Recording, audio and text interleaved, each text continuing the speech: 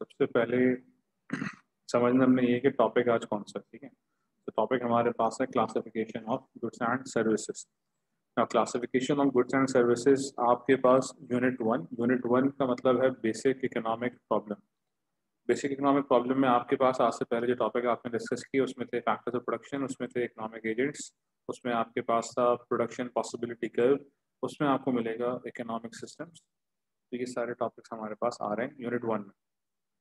तो आज के टॉपिक में हम बात करेंगे classification of goods and services सबसे पहले देखते हैं कि what is meant by the term free goods a good which does not require factor of production to produce it. Economics में फ्री गुड कहते हैं एक ऐसा गुड जिसे प्रोड्यूस करने के लिए फैक्टर्स ऑफ़ प्रोडक्शन नहीं चाहिए। So a good which does not require factor of production to produce it. It is known as goods. अब आते हैं ज़रा इसको एम सी क्यूज के साथ कनेक्ट करते हैं कि अगर एम सी क्यूज में फ्री गुड के हवाले से कुछ पूछा जाएगा तो एग्जामिनर क्या क्या बातें आपसे पूछ सकता है नंबर वन जो फ्री गुड है, उसकी अपॉर्चुनिटी कॉस्ट नहीं होती free good abundant in supply होता है, और इसके साथ साथ it has a zero market value examples में उसकी बात करते हैं तो सनलाइट सी वाटर या सैंड ऑफ़ डेजर्ट या एयर ये तो थी सिंपल बेसिक बात। अब ज़रा इसको और समझते हैं। आपसे कहा गया कि फ्री गुड्स वो गुड्स होते हैं जिसे प्रोड्यूस करने के लिए फैक्टर्स ऑफ़ प्रोडक्शन नहीं चाहिए होते। इसका मतलब है ना ही आपको लैंड चाहिए, ना लेबर चाहिए, ना कैपिटल चाहिए। तो अगर ये रिसोर्सेस आपको नहीं रिक्वायर्ड हों किसी गुड को प्रोड्यूस करने के लिए, वैसे गुड्स को हम कहते हैं गुड्स राइट अगली बात इंपॉर्टेंट इसमें पहला है neither it has an opportunity cost ये जो नाइदर इट है इसमें इट प्रोनाउन इस्तेमाल हुआ है इसका मतलब है फैक्टर ऑफ़ प्रोडक्शन ना ही इस्तेमाल हो रहे हैं और ना ही उनकी अपॉर्चुनिटी कॉस्ट है। समझ लें बात को? देखिए लैंड को आपने इस्तेमाल किया तो एक जगह अगर एक ज़मीन को आप किसी आ, से एग्रीकल्चर पर्पज़ के लिए इस्तेमाल कर रहे हो तो उसी जगह को आप किसी और चीज़ के लिए इस्तेमाल नहीं कर पाओगे से वहाँ बिल्डिंग तो बन नहीं सकते। सो अपॉर्चुनिटी कॉस्ट का आइडिया आपके जहन में आ गया। मगर यहाँ पे क्योंकि हम फैक्टर्स ऑफ़ प्रोडक्शन जिसे रिसोर्सेज कहा जाता है, उसे ही इस्तेमाल नहीं कर रहे तो उसकी अपॉर्चुनिटी कॉस्ट भी कहीं भी दूर तक मौजूद नहीं है।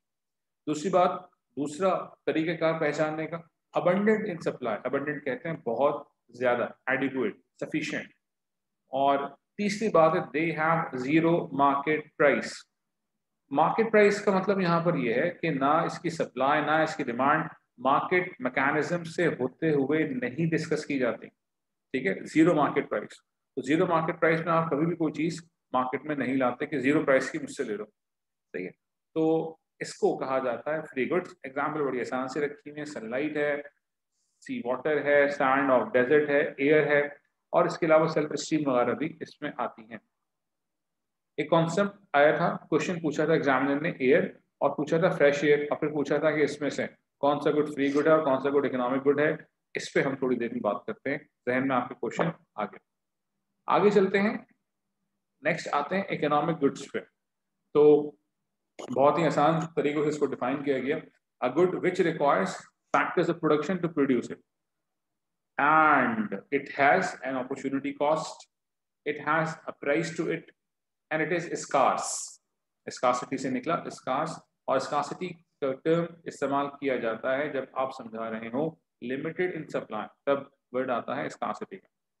एग्ज़ाम्पल में कोई भी आप किसी गुड के बारे में बात करें तो उसमें let it be a car an edible oil तो ये सारी चीज़ें आपकी एग्ज़ाम्पल में आएँगी जो कि इकोनॉमिक गुड्स कहलाएँगे। तो I repeat a good which requires factors of production to produce it, and it has an opportunity cost, ऐसा good, जिसे प्रोड्यूस होने के लिए फैक्टर्स ऑफ़ प्रोडक्शन चाहिए हो, और उन्हीं फैक्टर्स ऑफ़ प्रोडक्शन की अपॉर्चुनिटी कॉस्ट है। फॉर एग्ज़ाम्पल एक अगर हम बात करते हैं लंच तो भाई आपको कोई लेकर गया लंच पे, समझ रहे हैं? आपको कोई लेकर गया लंच पे, ठीक है? आपसे पूछा जा रहा है कि यार आपको लेकर गया वो लंच पे तो पेमेंट भी उसने करनी है तो पेमेंट उसने करनी है तो क्या? लंच को, या लंच में मिलने वाली चीज़ों को फ्री गुड कहा जाएगा या इकोनॉमिक गुड ठीक है? तो आज आपसे किसी के साथ जाने से पहले सोचते ना कि अगर आपको कोई ले जा रहा है, समझ रहे तो पैसे वही अदा कर रहा है। तो क्या ये इकोनॉमिक गुड है या फ्री गुड है? इसका आंसर है कि ये इकोनॉमिक गुड है। क्यों? सर, वो जो इकोनॉमिक गुड है, उसे प्रोड्यूस होने के लिए क्या फैक्टर्स ऑफ़ प्रोडक्शन चाहिए होंगे? अगर तो चाहिए तो ये हमारे हिसाब से इकोनॉमिक गुड है।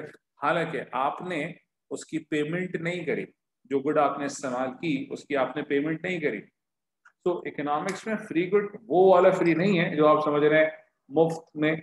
और इकोनॉमिक गुड के मायने कुछ और हैं।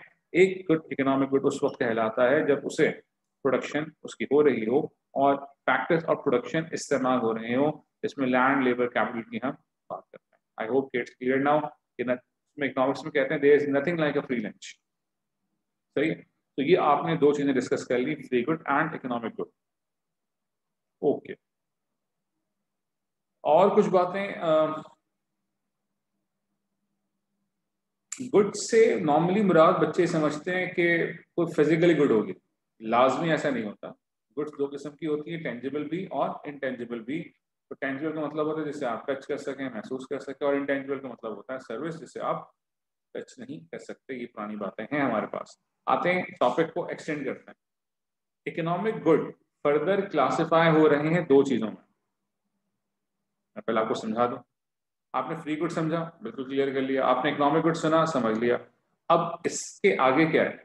हम इकोनॉमिक गुड को दो हिस्सों में तकसीम कर रहे हैं। एक का नाम है प्राइवेट गुड और एक का नाम है पब्लिक गुड ठीक हो गई बात? आइए, समझते हैं कि प्राइवेट गुड और पब्लिक गुड क्या होते हैं।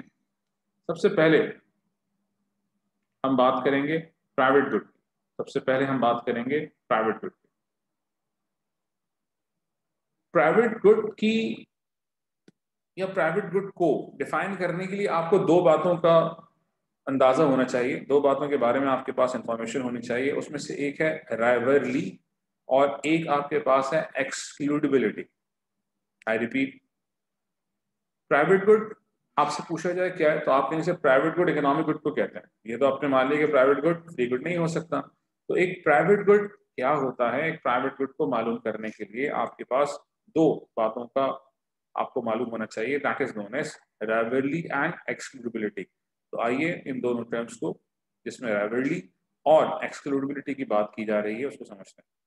राइवरली को कहते हैं consumption by one reduces the availability for others I repeat consumption by one reduces the availability for others इसका मतलब क्या? आसान कर रहे हैं और रेफरेंस पॉइंट क्रिएट कर रहे हैं। तो आप और आपके कुछ दोस्त मिलकर पिज़्ज़ा खाने पहुँचते हैं। ठीक है जी? उनको पानी तो नहीं आ रहा। तो भाई आप और आपके दोस्त मिलकर पिज़्ज़ा खाने पहुँचते हैं। पिज़्ज़ा सर्व हो गया, चार दोस्त हैं। चार दोस्त में से किसी ने जज्बात में आकर शरीर उसको भूख लग रही थी, उसने पिज़्ज़ा में से एक चिकन का पीस उठा कर खा लिया। या एक छोटा सा हिस्सा पिज़्ज़ा का थोड़ा खा गया। ठीक है? अब मुझे बताएँ कि पहले, अब से पहले, इस हरकत से पहले वो पिज्जा था पूरा, अब पूरा तो नहीं कहलाएगा। चाहे छोटा सा हिस्सा भी कम क्यों ना हो गया हो। तो हम उसको कहते हैं राइवली को कहते हैं consumption by one reduces the availability for other एक आदमी के इस्तेमाल करने से अगर दूसरे लोगों के लिए उस गुड में कमी आ रही है that is known as rivalry rivalry I repeat consumption by one इस एग्ज़ाम्पल के हिसाब से आपके दोस्त ने खाया consumption by one reduces the availability for others और समझ लें, उस पिज्जा का इतना छोटा सा चंद खाने की वजह से आज वो पूरा पिज्जा अब बकिया तीन दोस्तों को अवेलेबल नहीं है। भले आप कह रहे हैं कि सर उसने तो एक छोटा सा हिस्सा ही खाया था चिकन का पीस खाया था, मगर अभी भी अब वो पूरा नहीं कहलाएगा, उसमें से कुछ हिस्से की कमी आ गई। इसी को आप कहते हैं rivalry consumption by one reduces the availability for others आसान हो गई। रेफरेंस याद रखिएगा कि जो सर्कल बनाया हुआ है, ये रहा सर्कल ये पिज़्ज़ा था, और इस पिज्ज़े की हम बात कर रहे हैं, चार फ्रेंड्स की कहानी आपको सुनाई। अब आते हैं इसके आगे और डिस्कस करेंगे excludability so when the producer of a product when the producer of a good या product can exclude someone by charging a price to it. कुछ बातें समझ नहीं। पहले मतलब समझते हैं एक्सक्लूड का क्या होता है। एक्सक्लूड का मतलब होता है बाहर कर देना। जैसे कहते हैं ना एक्सक्लूसिव अलग से। तो एक्सक्लूड का मतलब होता है बाहर कर देना, हटा देना। दूसरी तरफ़ ख्याल रखें कि राइवलरी में आपने कंज्यूमर को कहा।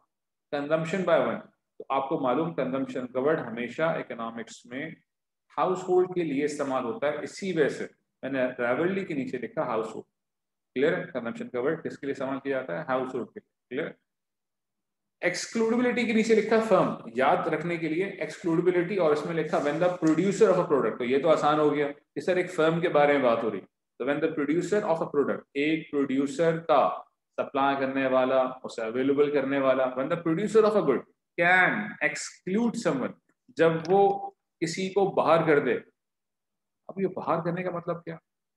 यानी कि इस्तेमाल करने से रोक सके, इस्तेमाल करने से रोक सके। अब रोकने का तरीका कहाँ ही बताया जा रहा है?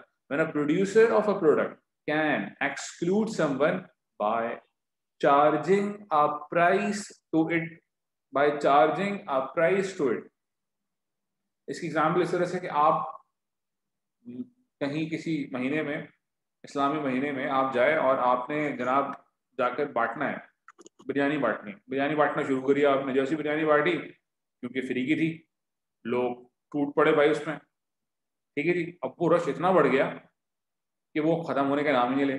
किसी ने कहा, रश को छड़ाओ। आपने कहा अच्छा एक आइडिया आपके पास आया। आपने कहा, बिरयानी की एक प्लेट अब सौ रुपये की है।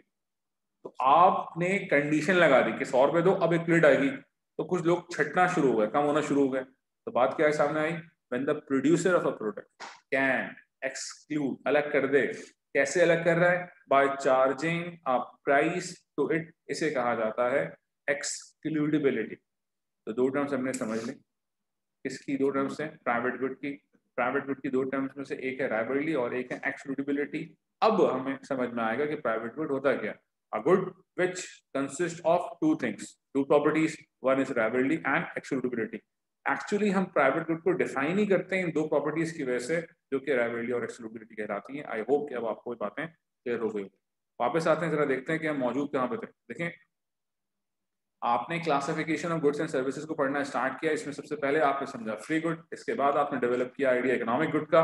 इकोनॉमिक गुड को आपने ब्रेक किया दो हिस्सों में। एक कहलाती है, बाद आपने लिखी प्राइवेट गुड और अब हम डिस्कस कर रहे हैं पब्लिक गुड ठीक है जी? अब डिस्कस कर रहे हैं पब्लिक गुड आइए जरा इसको भी समझते हैं।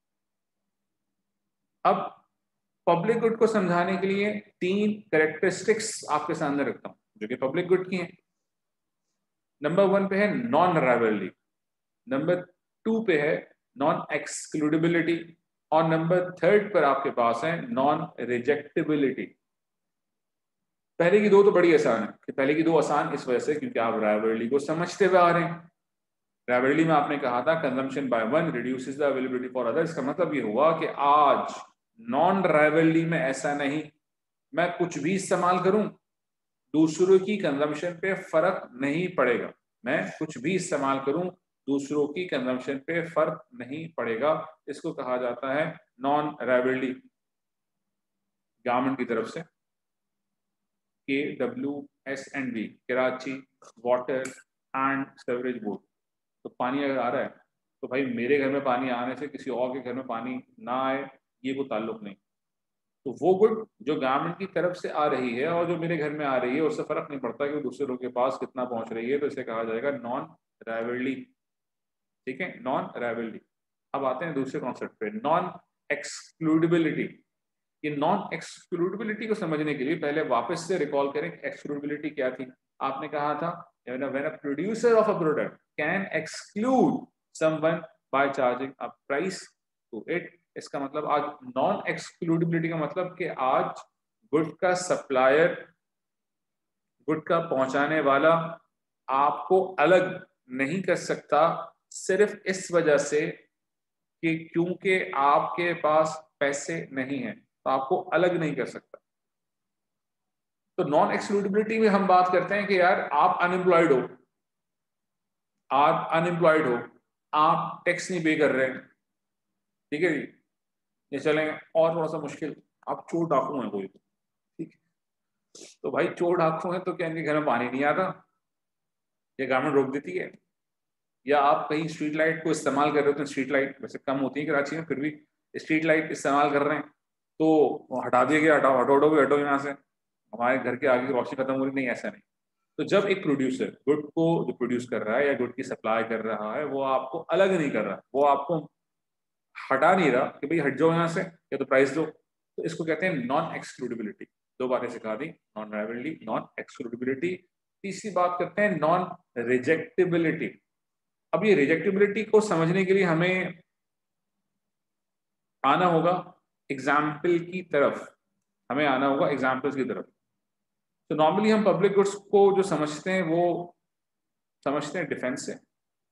लॉ इन्फोर्समेंट एजेंसी से। ठीक है? इसके अलावा बात कर सकते हैं ब्रिजेस के हवाले से रोड के इंफ्रास्ट्रक्चर के हवाले से। ये सारी चीज़ें जो हैं, ये प्रोवाइड की जा रही होती हैं गवर्नमेंट की तरफ़ से और पब्लिक गुड्स को नॉर्मली गवर्नमेंट के साथ ही एसोसिएट किया जाता है। मैंने अब तक नहीं किया फिर भी आपको बता रहा हूँ कि नॉर्मली एसोसिएट किया जाता है कि गवर्नमेंट ही प्रोवाइड करे पब्लिक गुड अभी हम बात कर रहे हैं पब्लिक गुड में मौजूद करेक्टरिस्टिक की। या करेक्टरिस्टिक की होती है कि किसी चीज़ को पहचानने का तरीका। ठीक है? मैं कहूँ ठंडा है तो आप कहेंगे पानी। एग्ज़ाम्पल दी करके आपको फ़ौरन कह दिया। सर। कोयला। नॉर्मली कोयले की ठंडा वर्ड इस्तेमाल नहीं करते, कोयला नॉर्मली कोल जो गर्म होता है। तो करेक्टरिस्टिक से क्या होता है, आप गुड को पहचानने लगते हो, किस कॉन्सेप्ट के बारे में बात हो रही है, आप उसको आइडेंटिफाई कर लेते हो। उसी तरह से आपने आज एग्ज़ाम्पल के तौर पर समझा डिफेंस और आपने समझा लॉ इन्फोर्समेंट एजेंसी बात आसान हो गई। अब आते हैं सबसे तीसरे तीसरे पॉइंट पर जो कि आपने लिखा था नॉन रिजेक्टेबिलिटी मैं इसको थोड़ा जूम इन कर रहा हूँ जरा चेक करें। पहला जो आपके पास लिखा हुआ आपको नज़र आ रहा है लाउड स्पीकर मस्जिद, चले, कह लें, अभी इस तरह की एग्ज़ाम्पल में डिस्कस करना तो नहीं चाह रहा था। चले, आसान कर लेते हैं तो ताकि वो फिर थोड़ा सा इस्लामी बात ना हो जाए। तो भाई वो गली के कोने से या किसी ने अपने गाड़ी में बहुत तेज कोई म्यूज़िक लगाया हुआ है। जो तेज म्यूज़िक लगाया हुआ है, उससे आप बचना चाह रहे हैं, बच नहीं पा रहे। नॉन रिजेक्टिबिलिटी ऐसा नहीं हो पा रहा। कि आप तक वो ना पहुँच रहा हो, बाकी सब तक पहुँच रहा हो, नहीं। गली में गाड़ी दाखिल हुई आपके मोहल्ले में तेज वॉल्यूम पे किसी ने गाना चलाया हुआ था।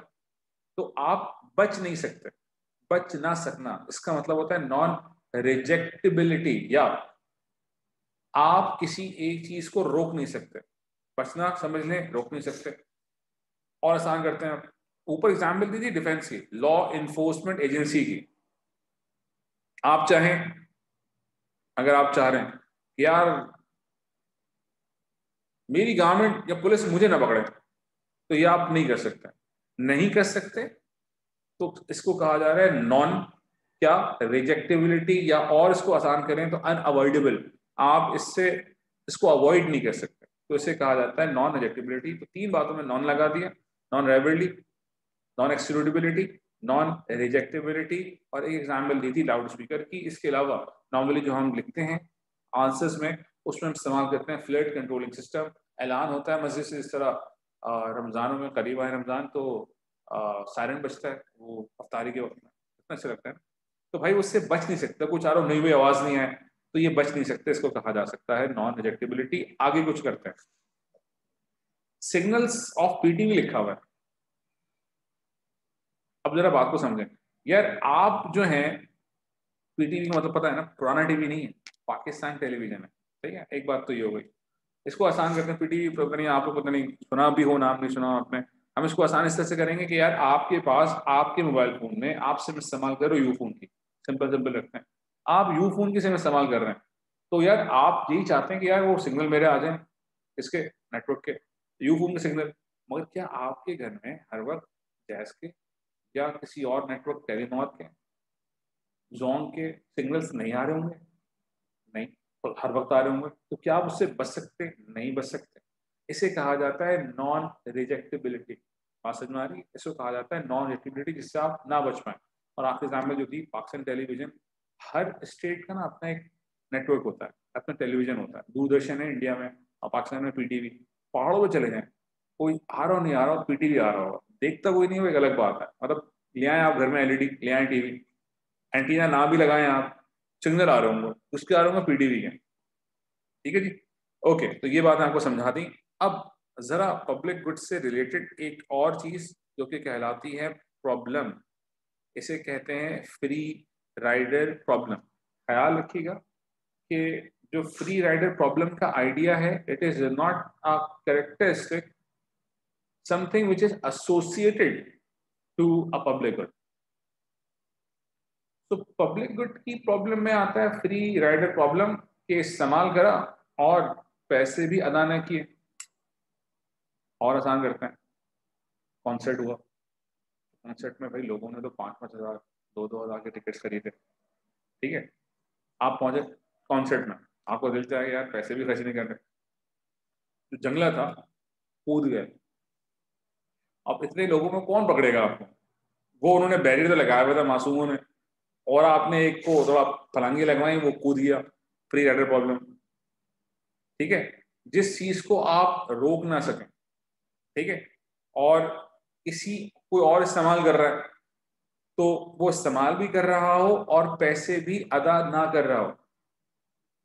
और अगर समझें तो अब तो कई ने ये जो वायरिंग कर दी है, जो मतलब कंसोल्ड कहला रही है पहले ऐसा होता था कि भाई वो रात हुई, बारह बजे नहीं, और घर में एसी लगा हुआ है तार आता था, ट्रम जाकर उसने कई की जो वायर होते, उस पर लोड डाल दिया। तो इस्तेमाल भी कर रहे हैं, और पैसे भी अदा नहीं कर रहे। इसे कहते हैं फ्री राइडर प्रॉब्लम तो जहाँ जहाँ पब्लिक गुड्स होते हैं, वहाँ वहाँ अक्सर तौर पर देखा गया है कि वहाँ फ्री राइडर प्रॉब्लम वाली सिचुएशन हमें कन्फ्रंट करनी पड़ जाती। क्लियर हो गई बात? वापस अब तक आपने जो आइडिया डिस्कस करे, उसमें तीन बातें थी। फ्री गुड रहा, एक रहा इकोनॉमिक गुड और एक रहा प्राइवेट गुड और एक रहा पब्लिक गुड आसान सी बात है। प्राइवेट गुड हो या पब्लिक गुड हो, दोनों ही इकोनॉमिक गुड हैं। आई रिपीट चाहे वो प्राइवेट गुड हो, चाहे पब्लिक गुड हो, वो दोनों ही कहाँ से आए? इकोनॉमिक गुड से। तो इकोनॉमिक गुड की दो टाइप्स आपने कर ली private good and public good अब इसके आगे चलते हैं और इकोनॉमिक गुड से रिलेटेड जो आपके सिलेबस का पार्ट है, जो अक्सर पूछा जाता है। और एएस के सिलेबस में अब ये जो टॉपिक है, वो इतना पॉपुलर नहीं। उसका रीज़न क्या है? उसका रीज़न ये है कि मैरिड गुड और डी मैरिड गुड्स में हम एक कॉन्सेप्ट पढ़ेंगे, जिसमें हम बात करेंगे एक्शनैलिटी की। जो एक्शनैलिटी है, ये वाला जो कंटेंट है, ये जा चुका है ए टू के सिलेबस में। इसी से रिलेटेड आगे एक कॉन्सेप्ट आता है, जो कि कहलाता है कॉस्ट बेनिफिट एनालिसिस ये जो कॉस्ट बेनिफिट एनालिसिस है, ये भी बाकायदा तौर पर ए टू में जा चुका है। तो अगर आपने पास पेपर्स खोले तो आपको क्वेश्चन नज़र आएँगे। मगर वो क्वेश्चन ज़्यादातर जो है, वो 2016 से पहले के होंगे। भले मैरिट ग्रुप के आपको क्वेश्चन नज़र आ जाए एक्सटर्नैलिटी वाला जो क्वेश्चन मिलेगा आपको, वो हो सकता है कि 2016 से पिछले सालों में मिला वो पुराने सिलेबस में इंक्लूडेड था, पूछा जाता था। तो अब टीचर्स मिक्स रहते हैं कि हाँ पूरा करा दें, पूरा ना कराएँ, कितना कराएँ, कितना आएगा। तो सेफ़ साइड पे ये कि आप जितना कर सकते हैं एएस लेवल पे कर लें। मानना मेरा ये है, मेरी अपनी राय ये है कि एग्जामिनर इसको फुल फ्लैश नहीं पूछता, जितना कि वो पहले, आज से पहले, चंद सालों पहले पूछता था। ठीक है, एक बात तो क्लियर कर दी। अब आते हैं इकोनॉमिक गुड में देखिए इकोनॉमिक गुड के नीचे लिखा हुआ नज़र आ रहा है प्राइवेट गुड वो आपको याद, अभी हम करके निकले हैं प्राइवेट गुड की दो बातें थी। एक्सक्लूडिबिलिटी एंड राइवलरी ठीक? अब आते हैं। नेक्स्ट आइडिया हमारे पास है मैरिड गुड का। एक गुड है मैरिड गुड और एक गुड हमारे पास है डी मैरिड गुड इन दोनों को डिस्कस करते हैं।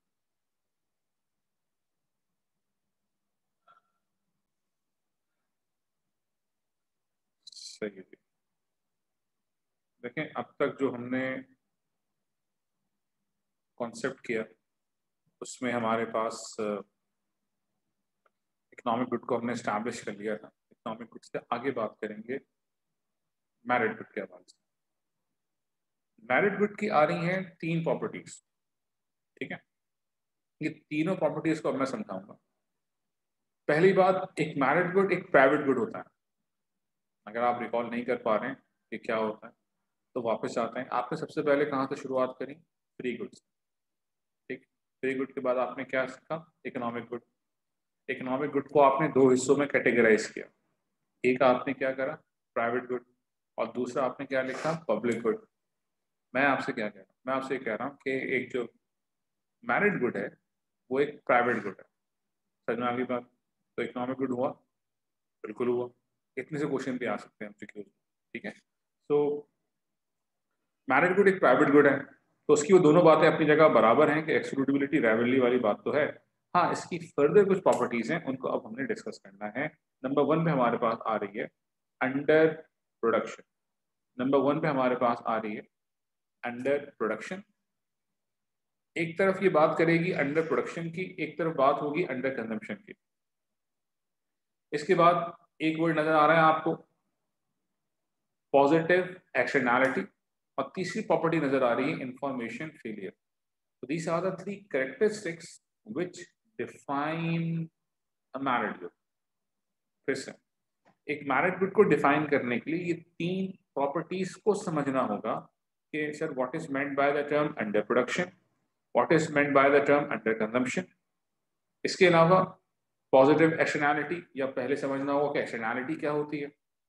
और सबसे आखिर में last but not the least information failure के बारे में आपको जानना होगा कि इंफॉर्मेशन फेलियर क्या चीज़ होती है। अगर ये तीनों बातें आपने सीख ली तो मैरिड गुड ऑटोमेटिकली आपको समझ में आ जाएगा। बाकी रहेगा ग्राफ ग्राफ को भी हम डिस्कस करेंगे। आइए ज़रा चलते हैं इक्वेशन की तरफ़ और इक्वेशन को मैं यहाँ पर एक्सपेंड कर रहा हूँ और आप इंफॉर्मेशन लिखते जाइएगा। इक्वेशन हमारे पास आ रही है marginal social cost, marginal social cost equals to marginal private cost plus marginal external cost. I repeat, सामने इक्वेशन आपके है। ये इक्वेशन इसमें लिखा हुआ नज़र आ रहा है आपको marginal social cost equals to marginal private cost plus marginal external cost ठीक। इसके नीचे लिखा हुआ नज़र आ रहा है marginal social benefit equals to marginal private benefit plus marginal external benefit आइए इन के कंपोनेंट्स को समझने की कोशिश करते हैं। जैसे ये एमपीसी जिसको कहा कहा जाता है मार्जिनल प्राइवेट कॉस्ट ये क्या बात है? और इसके आगे मार्जिनल एक्सटर्नल कॉस्ट ये क्या बात है?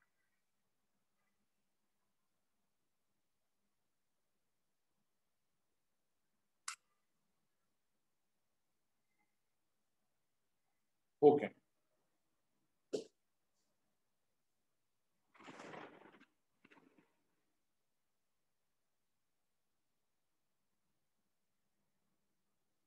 देखें मार्जिनल प्राइवेट कॉस्ट को हम दो हिस्सों में ब्रेक करेंगे। ठीक है marginal private cost as a household as a firm I repeat MSC की क्वेश्चन में जो एमपीसी का वर्ड आ रहा है मार्जिनल प्राइवेट कॉस्ट इसे दो हिस्सों में हम समझेंगे।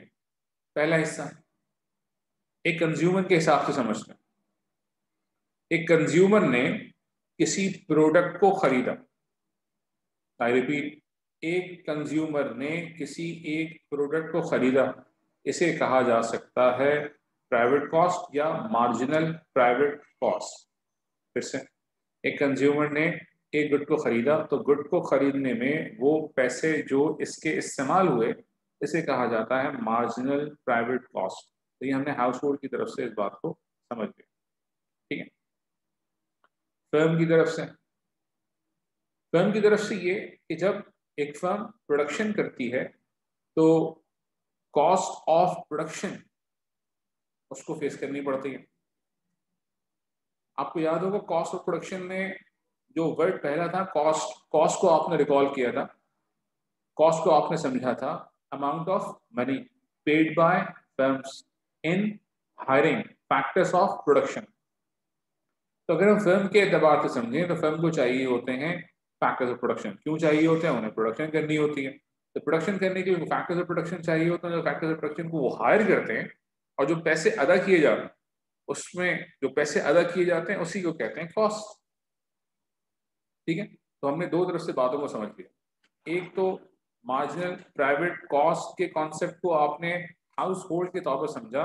जैसे मार्जिनल प्राइवेट कॉस्ट को हाउस होल्ड से इस तरह समझेंगे कि आपने एज अ कंज्यूमर एक गुड को खरीदा तो जो पैसे आपके खर्च हुए उसको समझा जाएगा marginal private cost in terms of a household दूसरी तरफ़ मार्जिनल प्राइवेट कॉस्ट को ही आपने बिज़नेस की तरफ़ से समझा कि सर बिज़नेस भी तो कॉस्ट अदा करता है। मैंने पूछा कब? तो आपने कहा, सर बिज़नेस का काम होता है फर्म्स का काम होता है टू प्रोड्यूस अ प्रोडक्ट उस प्रोडक्शन को करने के लिए उसे चाहिए क्या होता है? फैक्टर ऑफ़ प्रोडक्शन और फैक्टर ऑफ़ प्रोडक्शन हासिल करने के लिए उसे पे क्या करना होता है? लैंड की लैंड की कॉस्ट पे करनी पड़ती है रेंट लेबर की कॉस्ट पे करनी पड़ती है वेजेस और कैपिटल की कॉस्ट पे करनी पड़ती है इंटरेस्ट बात समझ में आ गई तो ये आपने समझा MPC from the perspective of household and firms अब आते हैं जरा इसके नीचे वाली इक्वेशन वहाँ लिखा हुआ एमएसपी एमएसबी में आपके पास लिखा हुआ है मार्जिनल प्राइवेट बेनिफिट अब इसको समझते हैं कि मार्जिनल प्राइवेट बेनिफिट कैसी होती है।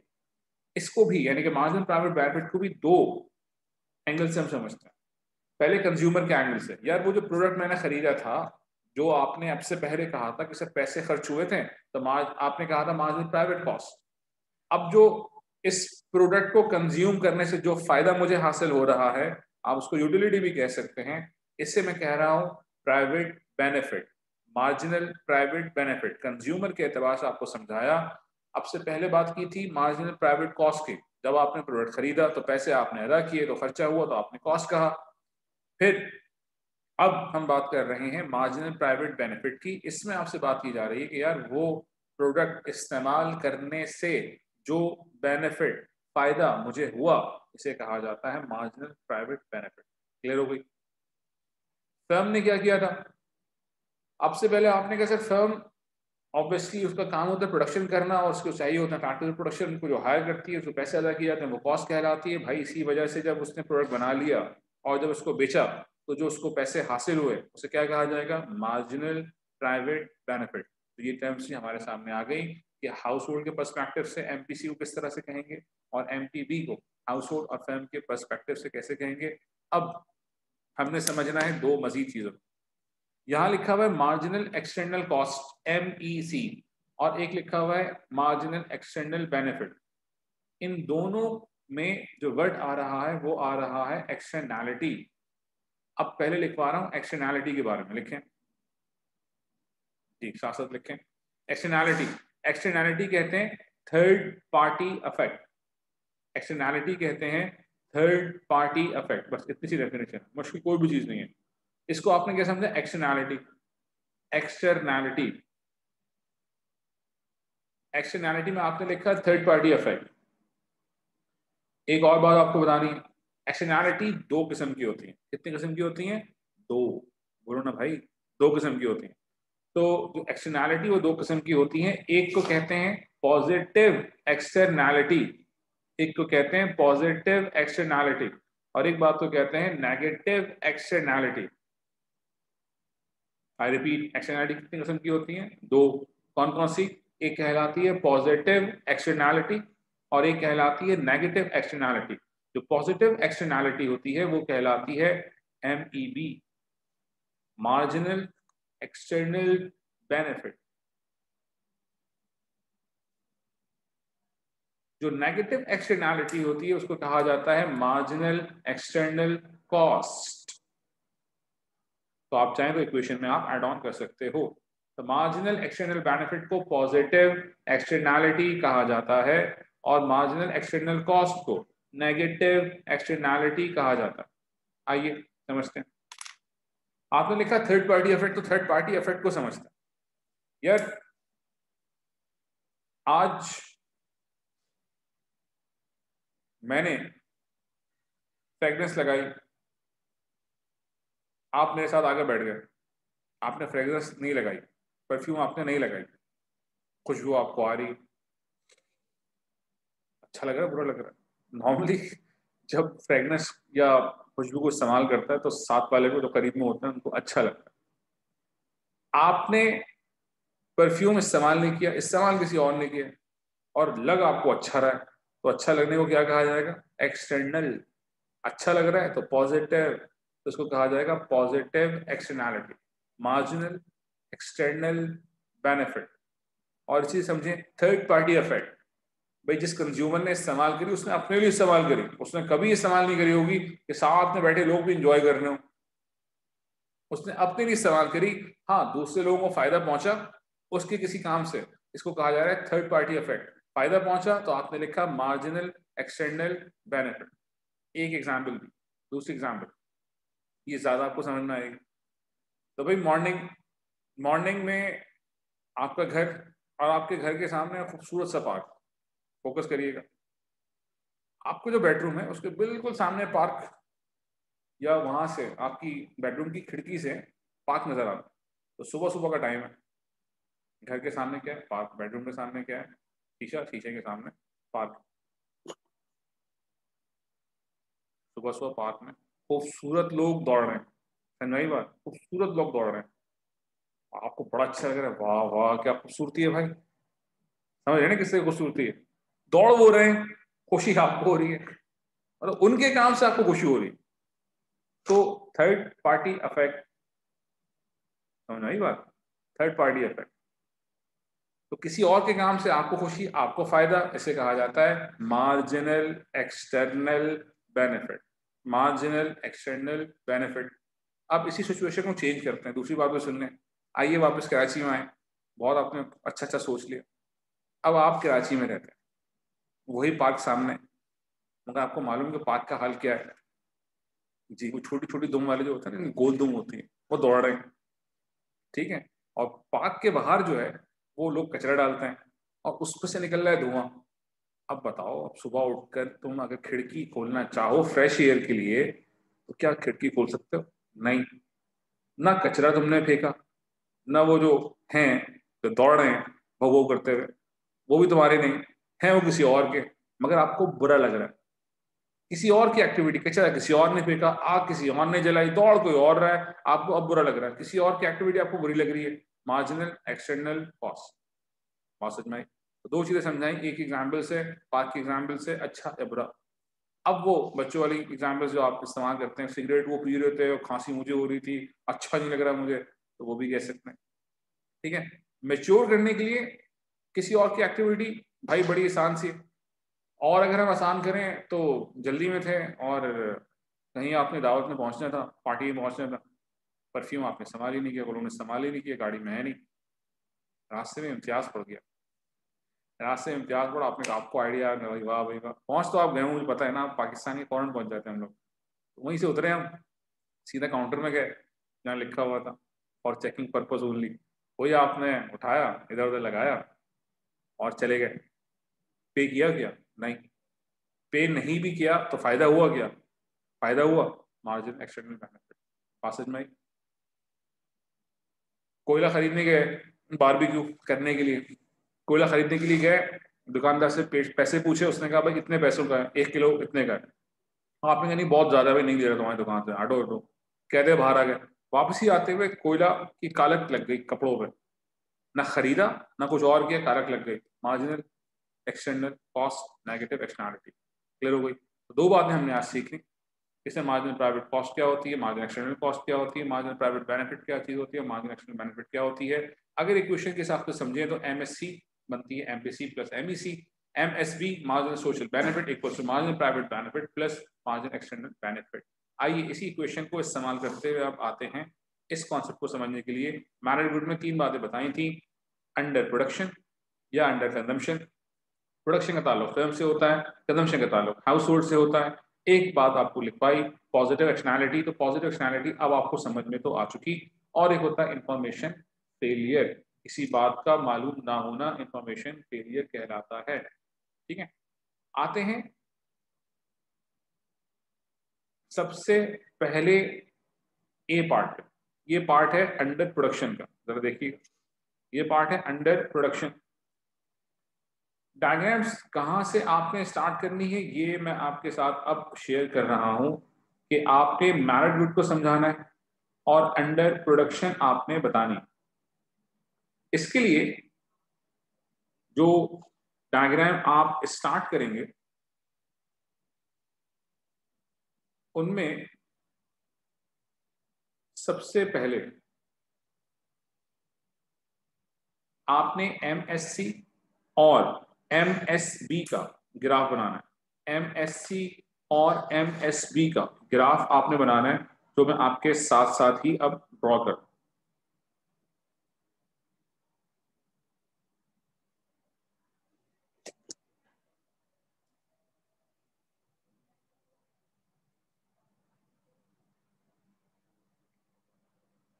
साथ साथ चलिएगा। यहाँ पे आपने लिखा एम एस सी यानी कि मार्जिनल सोशल कॉस्ट और यहाँ पे आपने लिखा एम एस बी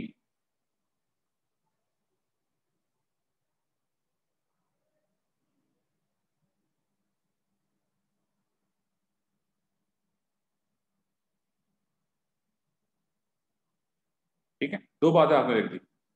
जहाँ पे marginal social cost marginal social benefit को इंटरसेक्ट करता है। कौन सा पॉइंट आया वो?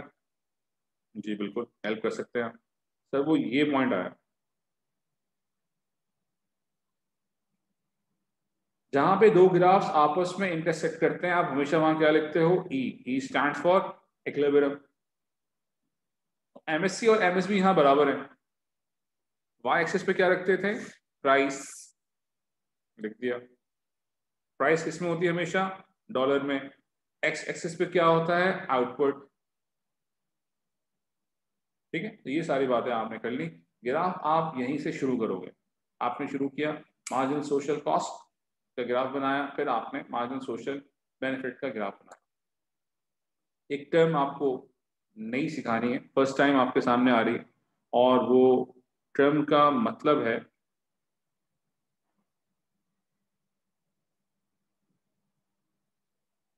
क्यूस्टेरिक क्यूस्टेरिक को कहा जाता है optimum level of output I repeat Q asterisk को आज से हम कहेंगे optimum level of output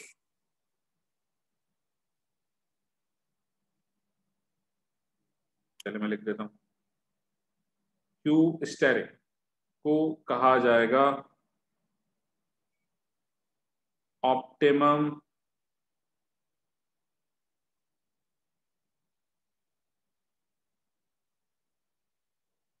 Level of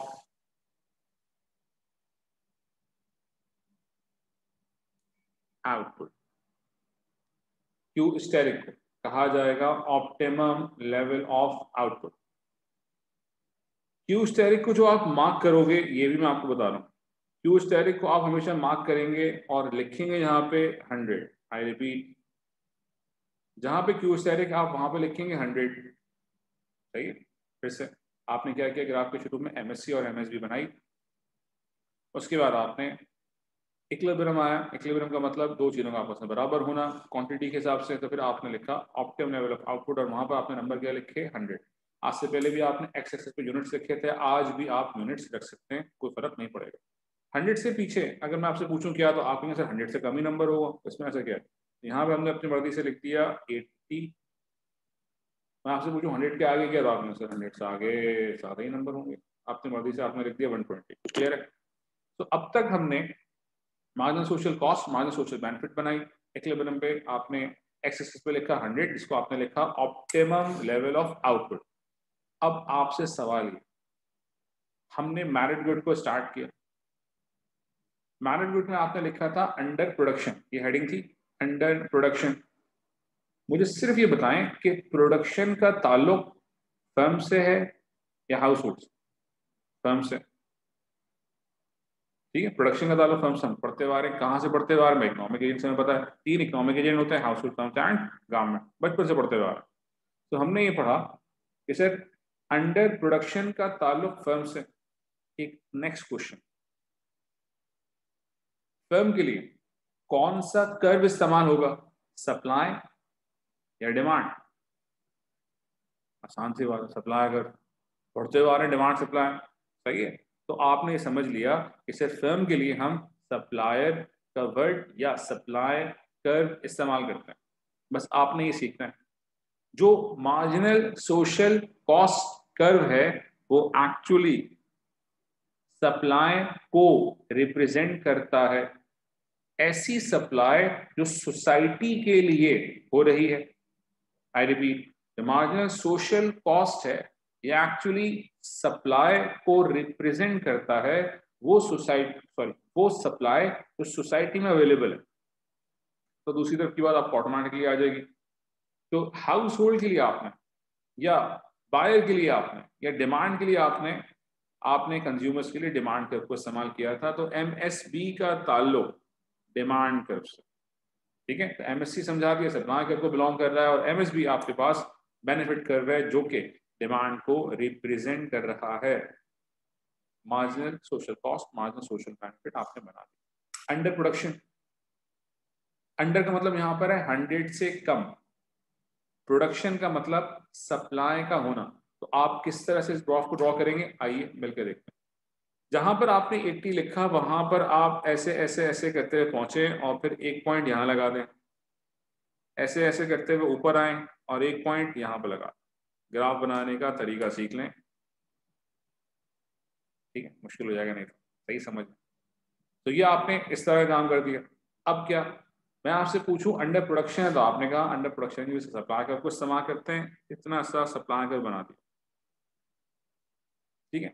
और सप्लाई कर्व में आपने लिखा M P C supply curve में क्या लिखा आपने? M P C marginal private cost वो कॉस्ट है, या वो सप्लाई है जो एक फर्म सप्लाई कर रही है।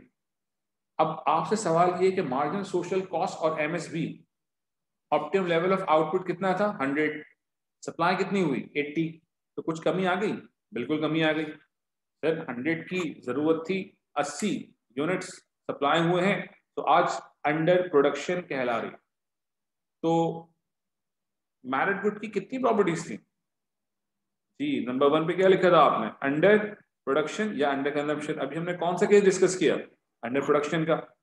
दूसरी बात आपने क्या लिखी थी? पॉजिटिव एक्शनैलिटी थी या नेगेटिव एक्शनैलिटी थी?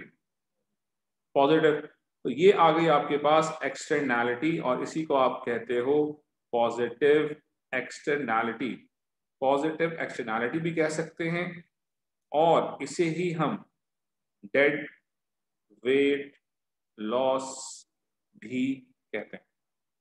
ये आ गया आपके पास एरिया पॉजिटिव एक्सटर्नैलिटी का, और इसी एरिया को हम डेड वेट लॉस भी कहते हैं। एक्चुअली आपको अब करना क्या है? आपको तीन बकिया केस खुद से बनाने चाहिए, ठीक है? तो अगर आप यहाँ तक पहुँच गए यहाँ तक कोई क्वेश्चन नहीं है तो पॉज करें वीडियो को और जाकर खुद से बकिया तीन ग्राफ्स बनाएँ और अगर नहीं तो चलें साथ। ठीक है चॉइस आपकी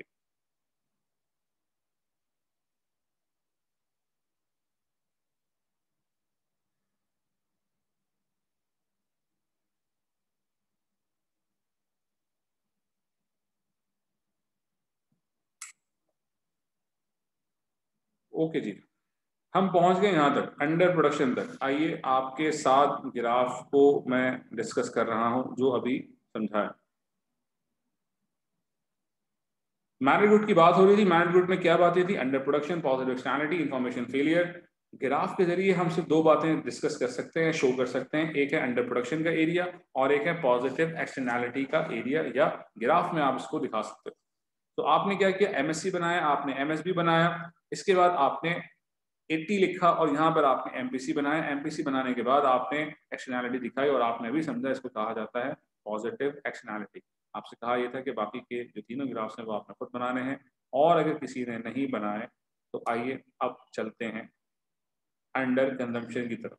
आइए मैं इस ग्राफ को शो कर रहा हूँ, जो कि आपको बताएगा अंडर कंजम्पशन साथ साथ रहिएगा तब समझ में आएगा।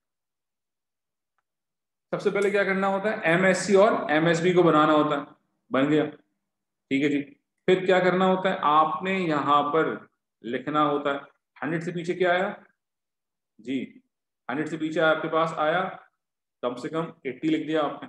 तो आपने यहाँ पर लिख दिया एट्टी, जिसको आपने कहा था अब से पहले।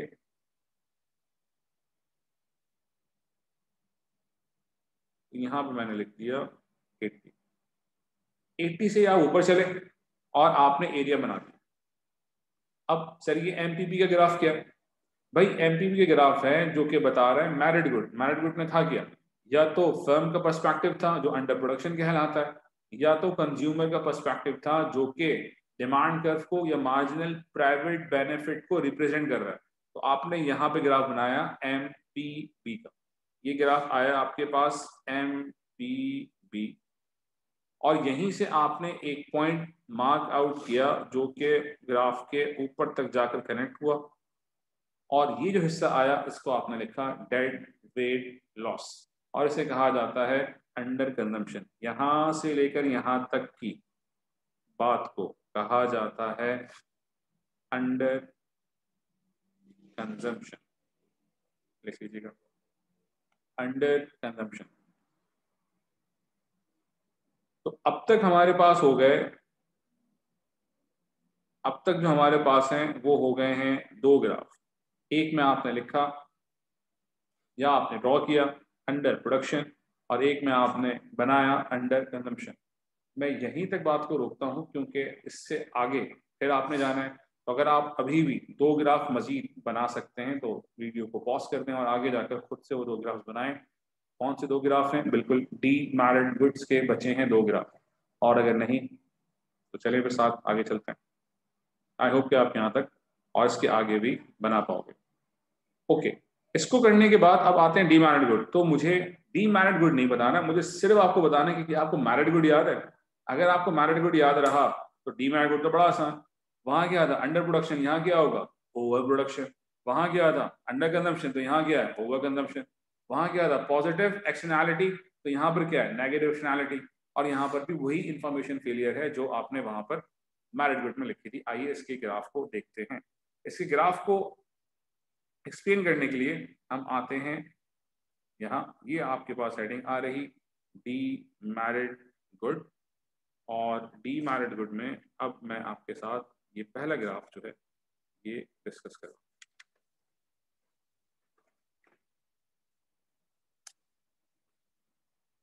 ओवर प्रोडक्शन हेडिंग इसकी आ रही है ओवर प्रोडक्शन अब ग्राफ को देखें, एक ही कलर को इस्तेमाल किया गया ताकि आप इसमें से अच्छी तरह से आइडेंटिफाई खुद से करना सीखें। एमएससी बनाए एमएसजी बनाए। सबसे पहले बेसिक काम क्या करना है हमेशा? एमएससी बनाना है और एमएसजी बनाना है। उसके बाद फॉरन ही ऑप्टिमम लेवल ऑफ़ आउटपुट यहाँ पे हंड्रेड लिखना है। अब आपने कहा ओवर प्रोडक्शन मैंने कहा, ठीक है। ओवर के लिए मैंने 120 का पॉइंट मार्क किया और 120 के पॉइंट को मार्क करने के बाद यहाँ से, कहाँ से? यहाँ से यहाँ से, यहाँ तक मैंने एक पॉइंट मार्क कर दिया। अगला क्वेश्चन मैंने आपसे पूछा ओवर प्रोडक्शन प्रोडक्शन का ताल्लुक किस फर्म से हाउस होल्ड से, आपने कहा, सर प्रोडक्शन का ताल्लुक तो फर्म से होता है तो मैंने कहा, बनाओ ना फिर, क्या?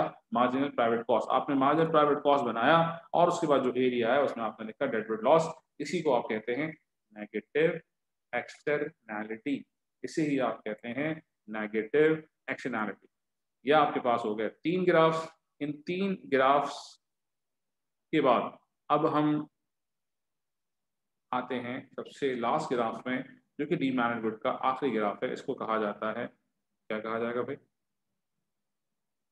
जी।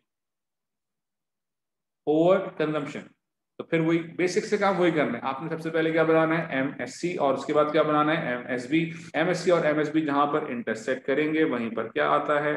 ऑप्टिमम लेवल ऑफ़ आउटपुट कितने यूनिट रखे थे आपने? हंड्रेड अब क्योंकि आप ओवर कंजम्पशन के बारे में बात कर रहे हैं, ऊपर आपने हेडिंग डाली है ग्राफ के ऊपर ओवर कंजम्पशन तो ओवर कंजम्पशन का ताल्लुक सर इस पॉइंट से तो हो गया। इस यहाँ से लेकर आपने यहाँ तक तो मार्कआउट कर दिया।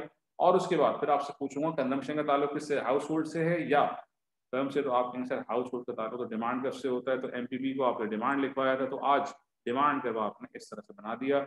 यहाँ से यहाँ तक के एरिया को डेटवेट लॉस भी कहते हैं और कहा जाता है नेगेटिव एक्सटर्नैलिटी ये आपके सामने वो चार ग्राफ्स हैं जो कि काफ़ी कॉम्प्लिकेटेड हैं। अगर ये आपने कर लिए तो फिर आपके एम जो कि इतना ज़्यादा पॉपुलर नहीं है, वो भी आपसे हो पाएँगे। अदरवाइज़ जो क्वेश्चंस आते हैं, वो ज़्यादातर मैरिड गुड्स से आते हैं। मैरिड गुड्स के लिए आपके पास जो लैकिंग है, वो डायग्राम है। डायग्राम आप बना लेंगे तो आपके मार्क्स चाहे वो आठ मार्क्स के क्वेश्चन हो, चाहे वो बारह मार्क्स के हों, आराम से कवर आप कर सकेंगे। रिव्यू क्विक सर मैं आपको आखिर में दे दूँ टॉपिक हमारा था classification of goods and services कहाँ से था? यूनिट वन का लास्ट टॉपिक है classification of goods and services तो सबसे पहले आपने बात स्टार्ट करी फ्री गुड्स से, उसके बाद आप इकोनॉमिक गुड्स इकोनॉमिक गुड्स को आपने दो हिस्सों में डिवाइड किया, एक था प्राइवेट गुड एक था पब्लिक गुड पब्लिक गुड के बाद आपने कॉन्सेप्ट पढ़ा मैरिड गुड का। मैरिड गुड एक प्राइवेट गुड है, जिसमें तीन प्रॉपर्टीज़ आपने पढ़ी अंडर प्रोडक्शन इसके अलावा अंडर कंजम्पशन या आपने समझी पॉजिटिव आपने समझा इन्फॉर्मेशन फेलियर इसके बाद आपने demerit good demerit goods में आपने तीन बातें पढ़ी ओवर प्रोडक्शन ओवर कंजम्पशन एक बात हो गई नेगेटिव दूसरी बात हुई और इन्फॉर्मेशन फेलियर तीसरी बात हुई, और इससे रिलेटेड मैरिट गुड्स के दो ग्राफ डी मैरिड गुड के दो graph and this is it for today's lecture hope you understand okay take care Allah हाफिज़